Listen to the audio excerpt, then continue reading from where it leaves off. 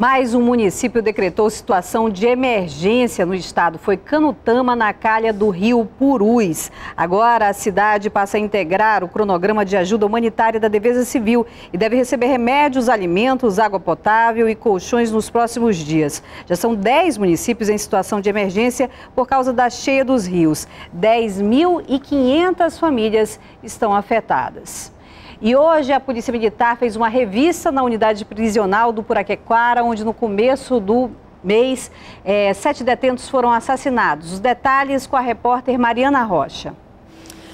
Olá, Marcela. De acordo com o secretário de Administração Penitenciária, Tenente Coronel da Polícia Militar, Cleitman Coelho, o foco da revista de hoje era descobrir se os presos estavam cavando algum túnel, se estavam serrando as grades das celas ou se estavam se organizando para alguma espécie de fuga, já que eles estão na tranca, estão trancafiados aí desde os dias 7 e 8 de abril, quando houve o motim que terminou na morte de sete detentos detentos por conta de uma briga de facção na unidade prisional do Puraquequara. Hoje, na revista, a polícia encontrou 38 estoques que são espécies de armas caseiras produzidas pelos próprios detentos. Lá na UPP, existem 1.249 internos. Eles, desde os dias 7 e 8 de abril, por conta do motim, não têm direito a banho de sol e nem a visita de familiares. A CEAP também informou que as revistas serão feitas constantemente em todas as unidades prisionais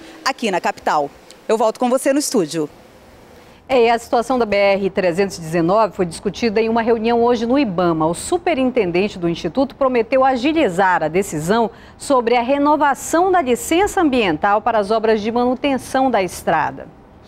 Foi a primeira reunião entre OAB, vereadores, o Movimento Amigos da BR-319 com o novo superintendente do IBAMA. A ideia era convencê-lo de que as licenças necessárias para a recuperação da BR precisam ser emitidas. A BR-319 é tirar o Amazonas do isolamento do resto do país. Vamos ao Ministério Público Federal, vamos a todas as instâncias, discutir com a sociedade, a OAB e a BR-319 com absoluta certeza é uma causa de todos nós. A reunião foi uma ideia do movimento Amigos da BR-319 que acompanha as discussões e os trabalhos na rodovia. Então a gente espera que depois do inverno, verão, o DENIT possa entrar e começar a trabalhar para garantir a trafegabilidade da BR-319, que se encontra hoje praticamente intrafegável. O IBAMA é responsável pelo licenciamento ambiental das obras de recuperação do chamado Trecho do Meio, que fica entre Manaus e o Maitá. A licença venceu em abril e não foi renovada. O IBAMA espera analisar o estudo de impacto ambiental e decidir até ano que vem. Pela lógica, eu imagino que a gente conclui esse processo né, até o final de 2018. Não há mais nenhuma razão para que fique protelando, a não ser que haja uma decisão superior que a estrada não deve ser feita. As obras de recuperação da rodovia estão paradas e a viagem Manaus-Humaitá, no sul do Amazonas, que era feita em até um dia na estação seca, agora pode levar mais de uma semana, como o jornal Em Tempo mostrou em janeiro. Além disso, a rodovia tem sido alvo de invasores. Ano passado, nós mostramos com exclusividade um vilarejo que começou a se formar. Agricultores do Espírito Santo, Mato Grosso, Paraná e Rondônia começavam a chegar. Os barracos chegaram a ser retirados da área desmatada. E hoje é comemorado o Dia Nacional do Livro, mas uma triste estatística tem preocupado os brasileiros. É que nós lemos uma média de dois livros inteiros, ou em parte, em três meses. Por isso, muitos projetos têm incentivado a leitura. Letícia já terminou o ensino médio, mas como é apaixonada por livros, agora é voluntária na biblioteca onde estudava. Mas não para por aí. Ela consegue ler um livro em apenas dois dias. Eu aprendo muitas coisas com eles, livros, países, eu vou para muitos lugares.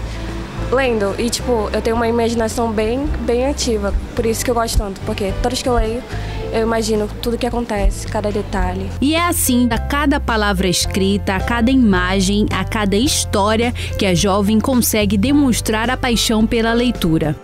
Sara também não fica atrás. Ela começou a pegar nos livros com apenas 3 anos de idade. A leitura não só desperta nas pessoas uma certa criatividade, mas também é um ótimo passatempo quando está entediada é muito bom a gente pegar um livro que a gente goste para ler. e também para a gente aprender mais. O Dia Nacional do Livro é uma homenagem ao escritor Monteiro Lobato, um dos principais ícones da literatura infantil no Brasil.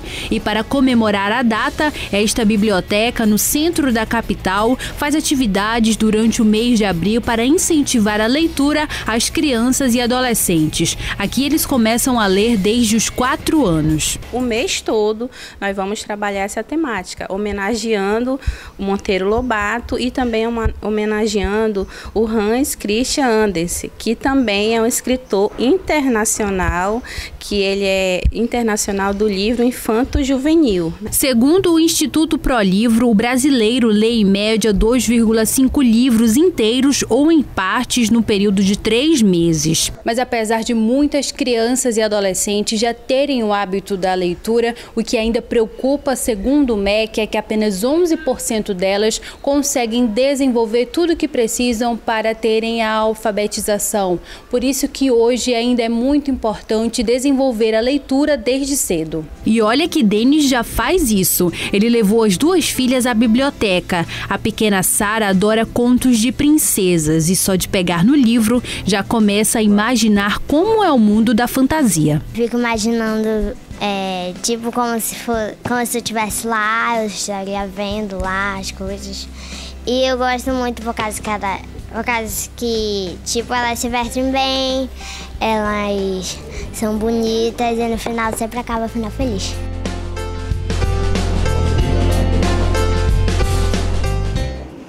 Jornal em Tempo volta amanhã, 18h15. Até lá.